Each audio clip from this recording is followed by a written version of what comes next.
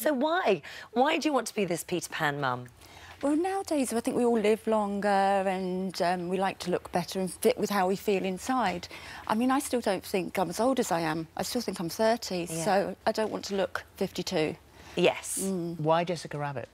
Well, it was just a bit of a joke because I, my waist is nipped in and I've got big boobs and I've got the big penciled eyebrows. So that was it. I just sort of got nicknamed Jessica Rabbit. Well, these sort of nips and tucks don't come cheap, do they? No. It's this is we think somewhere in the region of about eighty thousand pounds. Yeah, that's right. So how have you afforded that? Because you are uh, you're a health and safety associate. Yes, that's right. So is it is it on credit? Um, well, obviously, I do that work and I do it online and I get uh, good money for that. And then credit plays a part of it. so have you maxed out your credit cards? Okay, so you're in. So essentially, you're in debt. It's put you in debt. yes. Gosh, wow. And it's also put you i- in trouble health-wise as well because all the surgery you've had, um, there have been moments where it's gone wrong. Yeah, that's right. I had um, liposuction on my legs, and I was warned before the operation that there may be slight grooving.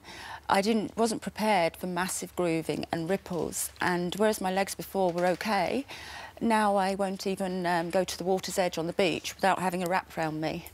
Because you've been left with... These horrendous legs that I really need to have repaired. So do you, do you regret that now? Totally. I, I think it was because I'd had my breast enlargement with the surgeon. He recommended his colleague, and because I'd been happy with the breast enlargement, I decided to go with his colleague. Um, and I had it done under twilight, and I was in agony. And then even the next day, I could see there was something wrong with them. And the nurse had also told him to stop during the procedure.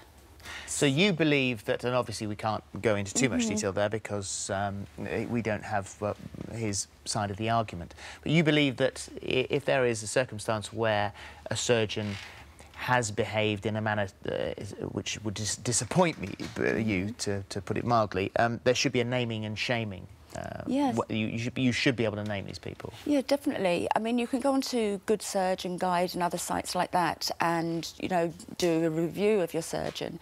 But I think it'd be better if you just had the plain list of all the names and shames and it'd be easier. The trouble is, though, when you have this sort of, you have as much as you've had, um, they will all say, if you have this sort of cosmetic surgery, it runs an element of risk.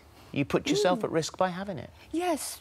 Um, and I did sign an agreement to that. But when you're told slight ripples and you've actually got huge indents, that's not a slight ripple. So I think if you're warned of certain things, but then it goes beyond it, then they should be held responsible. But it hasn't stopped you wanting more.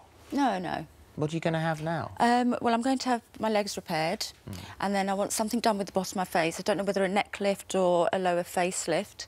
Um, and then I think I'm going to go for the designer vagina as well. Wow, so you- you've got a whole shopping list here. Yeah, definitely. More credit, more debt. um, and what about your love life? Because you, uh, you you're a single lady, so but you have quite a specific type of guy that you go for, and that is much younger than you. What's your age limits? I was sort of um, up to about 35.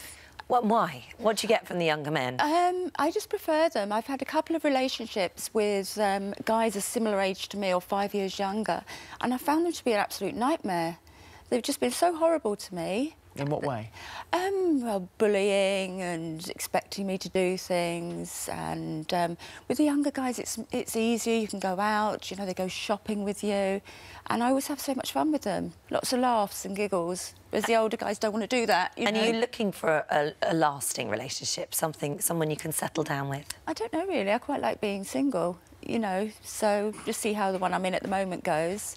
But I can't see myself getting married or anything like that. Well, you've got uh, two sons. Uh, one's 17, I think one's 27. Mm-hmm. Yeah, that's right. And you you date well within their sort of a, a age range, don't you? Sort Mm-hmm, sometimes, 18 yes. plus. So what do they think about it?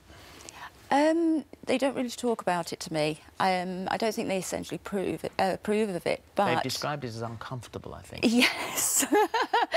yes, they're uncomfortable when the, the people are close to their age.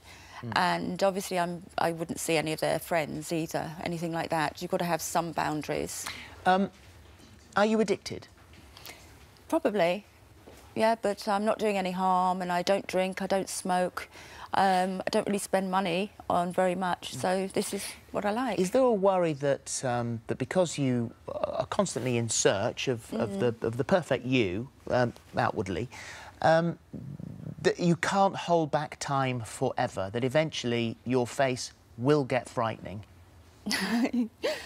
Yeah, probably. But um, when I think about like Joan Rivers, I mean, okay, her face was a bit pulled and nipped too much, but she was 80, wasn't she? Something like that.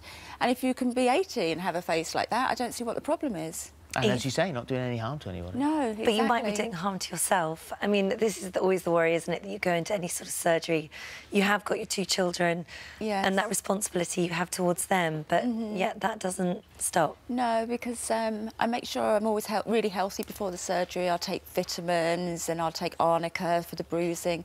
So I'm fully prepared when I go in, and I've never had a problem with an anaesthetic before. Okay. So Oh, good luck. Will you Yes, tell your sons luck. when you go in for your next set of uh, treatment? um, I don't know because usually I tell them afterwards, because otherwise they'll tell me not to. Yeah. Okay, well, stay right. safe. yes, you very much thank indeed. you. Thank, you very you. much. Hello, YouTube. For more of the same, just click here and don't forget you can subscribe for even more of these amazing videos exclusive to our channel. Uh, if you're injecting yourself every day with uh, this human growth hormone, um, which is incredibly dangerous. It can be So incredibly aren't, dangerous. aren't you thinking about your children then? I think, I mean, the media have obviously blown out huge stories yesterday. Mum of three injects Class C drugs. I don't smoke. I don't drink. But I you don't, are a mum of three I am a mum of three. That's correct. I am injecting drugs. Class C drugs. That's correct.